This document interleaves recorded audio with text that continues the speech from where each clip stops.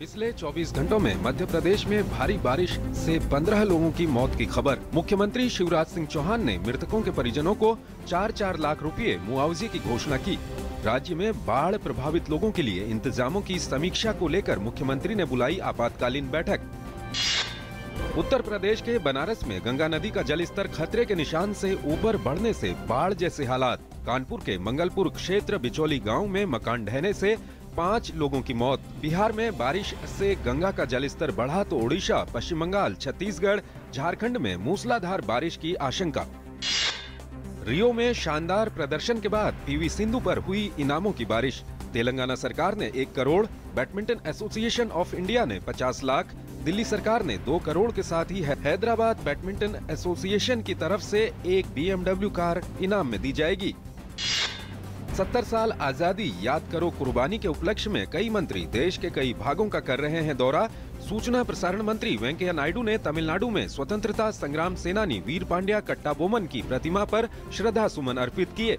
नायडू ने चेन्नई में महाकवि भरतियार के नाम से जाने जाने वाले जुझारू शिक्षक देश प्रेमी सुब्रमण्यम भारती की प्रतिमा पर भी माल्यार्पण कर उनके योगदान को याद किया। गृह मंत्री राजनाथ सिंह ने उत्तर प्रदेश के शाहजहांपुर में स्वतंत्रता सेनानियों को दी श्रद्धांजलि। गृह मंत्री ने शाहजहांपुर में गांधी भवन में महात्मा गांधी और सुभाष चंद्र बोस की प्रतिमा पर माल्यार्पण के बाद खिरानी बाग में कार्यक्रम को संबोधित कर शहीदों को किया याद। देश भर में 9 अगस्त से 23 अगस्त तक चलाए जा रहे करो कुर्बानी कार्यक्रम के तहत निकाली जा रही है तिरंगा यात्रा, जिसमें विभिन्न केंद्रीय मंत्रियों ने देश के कई हिस्सों में कार्यक्रमों में हिस्सा लिया। केंद्रीय मंत्री उमा भारती और नरेंद्र सिंह तोमर ने इलाहाबाद में चंद्रशेखर आज़ाद की प्रतिमा पर माल्यार्पण किया।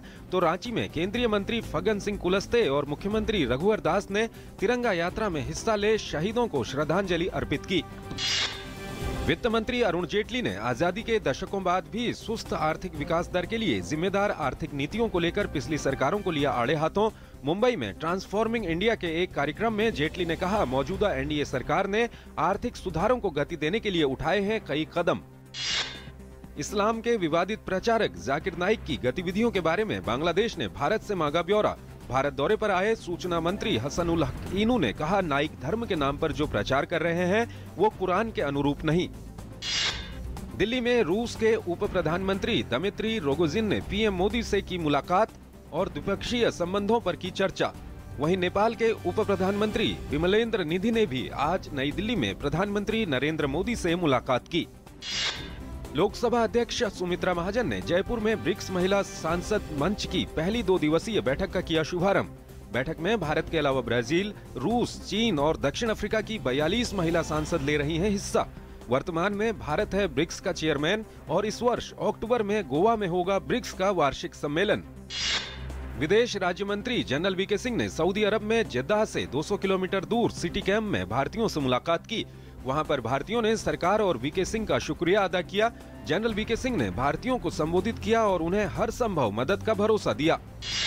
गंगा किनारे प्लांट बनाने वाले ठेकेदार नहीं कर पाएँगे गंगा को दूषित। नमामि गंगे परियोजना के तहत इलाहाबाद में स्वच्छता मिशन के कार्यक्रम में केंद्रीय मंत्री उमा भारती ने कहा कि अब गंगा किनारे प्लांट बनाने वाले ठेकेदारों को ही ये सुनिश्चित करना पड़ेगा कि गंगा की जलधारा में कोई भी दूषित पदार्थ न प्रवेश कर पाए, अन्यथा उसकी जमानत राशि रद्द कर दी जाएगी।